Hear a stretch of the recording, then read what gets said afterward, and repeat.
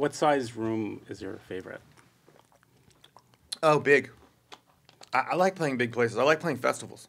Yeah. just because uh, we like to do a lot of intimate things. You know, we like to improvise whole sections, make up songs inside songs, uh, and it's cool to play that in a club. You get the response every time. But if you can do it, it with sixty thousand people at a festival in Europe where they don't know you that well, if you can like.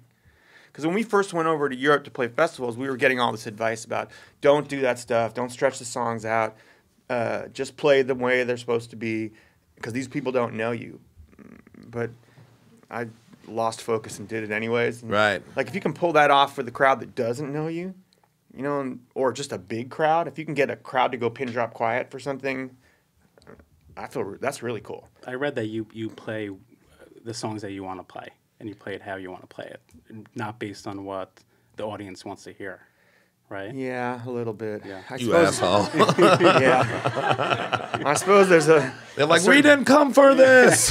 Fuck off. Yeah, well, it's more than my crew gets that because I'm Yeah. gone before they realize it. They're still thinking it's coming, and, and, and we're not there anymore. but I've had mostly the same crew for 25 years. A lot of them have been there for the whole time, and so uh, they'll tell me later when you know, like, "Fuck you," like the next day, and like, by the way, uh, I caught a lot of shit for that. What do you mean you caught? Well, I'm on stage, I'm cleaning things up, and they're just like, people are furious. I think with us, you either you kind of know what you're in for, so either you're there for that, or either you love us because we're improvisational, or you don't because we're fucking up the songs you like the way that you want to hear them. I don't know. I don't want to be. I, I get. I get why people like that too, because you know it's you associate it with a certain point in your life where you listened to something and loved it, and you want to recreate that moment when you go to see a band play. Mm-hmm. But the band, coincidentally, is not dead.